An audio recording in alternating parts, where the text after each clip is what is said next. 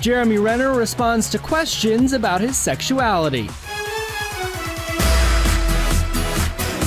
The 44 year old Avengers star spoke to Playboy about rumors that he's gay, saying he sees them as a sign that he's made it in Hollywood. When you Google yourself and the first thing that comes up is Jeremy Renner gay, it's like, oh, now you've arrived. You're now a giant movie star. Renner went on to say that he really doesn't care what people think.